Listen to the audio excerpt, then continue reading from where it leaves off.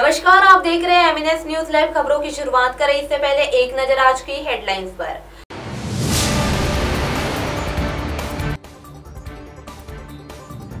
मिहान पुलिया पर वाहन ने दो पहिया चालक को कुचला। गंभीर रूप से जख्मी युवक की मौत। वसूली पदक को धमकाया। आइए देखते हैं खबरें अब विस्तार से। बेलदरोडी क्षेत्र में एक अज्ञात वाहन ने दोपहिया चालक को कुचल दिया। हादसे में जख्मी चालक राम बाबू दास भांडेवाड़ी निवासी की मौत हो गई। घटना 23 अगस्त को रात में हुई।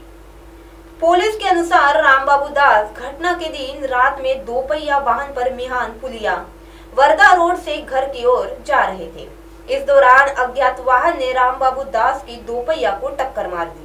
टक्कर के बाद रामबाबू डिवाइडर पर जा गिरे और उन्हें गंभीर चोट लगी।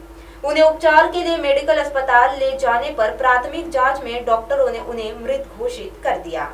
दूसरी खबर, जख्मी मरीज़ की उपचार के दौरान मौत हो गई। उसने मेऊ अस्पताल की इमारत से छलांग लगाई थी। मृतक राजा रमेश पटले, राहुल गांधी नगर झोपड़पट्टी निवासी है। पेट की बीमारी से वह परेशान था, उसे मेहू अस्पताल में भर्ती कराया गया था। उस पर शल्य क्रिया हुई थी। असहनीय पीड़ा के चलते राजा ने 20 अगस्त को दोपहर में तीन बजकर तीस मिनट पर मेऊ अस्पताल की चौथी मंजिल से छलांग लगा दी थी। तीसरी खबर, निजी संस्था के वसूली पथक को धमकाने और महिला अधिकारी से अभद्रता कर उससे छेड़छाड़ करने के मामले में सोमवार को नंदनवन थाने में आरोपी माँ बेटे के खिलाफ मामला दर्ज किया गया।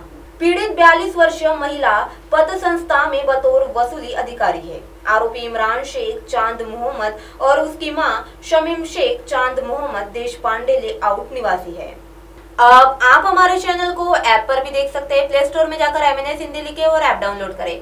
साथ ही साथ आप हमारे फेसबुक पेज को भी लाइक कर सकते हैं और उन पर भी खबरें देख सकते हैं। लिंक ट्विटर हाइक इंस्टाग्राम पर भी आप हमारी खबरें देख सकते हैं। आप हमारे चैनल को यूट्यूब पर भी देख सकते हैं और इसे यूट्यूब पर सब्सक्राइब करना ना भूले। अब फ़िलहाल वक्त आ चला है एक ब्रेक का। ब्रेक से लौटने के बाद देखते हैं देश और दुनिया की तमाम कुछ खास खबर। धन्यवाद।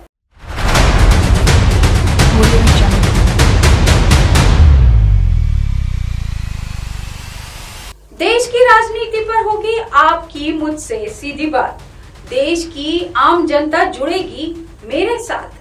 हर गली की राजनीति पर होगी हमारी बात।